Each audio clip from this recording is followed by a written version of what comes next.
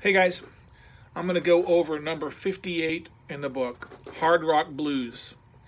A uh, couple little tips there uh, about how to play it and all those things that I said in the lesson if you didn't hear about it the other day.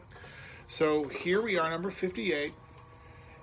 It says allegro, which means fast. Allegro is an Italian word that means fast. Um, and again, the rests are what tends to hang up some students on this one.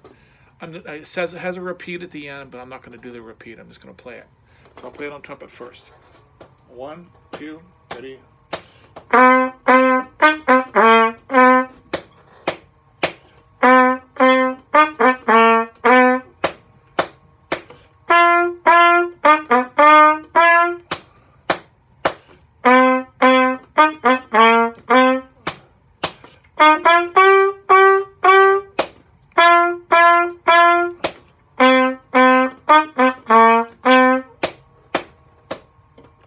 Okay, so that was happening right there. So it's the rest in the one place.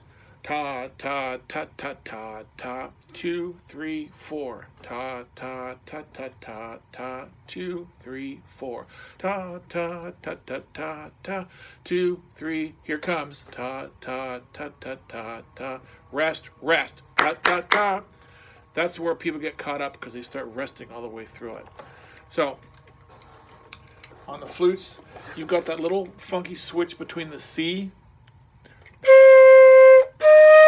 and the E flat. See, I already messed it up. Eventually, because I understand that the C without the thumb, it's like almost like you're switching everything. C, that's a hard switch. So a good way to work up that one is just to go C to E flat a bunch of times slowly.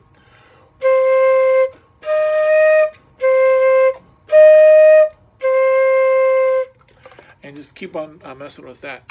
Saxophone, there's really not a whole lot to that because uh, you got a little bit up high with your octave key, but generally it's pretty straightforward.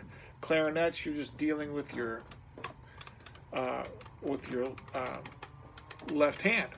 Even though you go up your A, you're doing up here, there's nothing that's going to happen on your right hand. So you're going to be going that. So there's not a whole lot there. Trombone. Uh, you got a lot of switching of side positions. You got to go all the way down to six to start. Six, six, three, six, one, six. You have to really throw that out.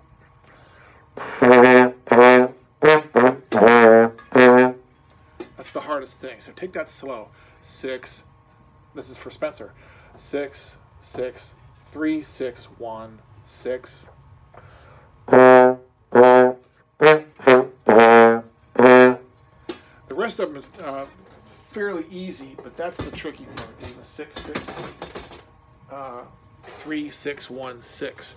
So, those are some things to work out on Hard Rock Blues.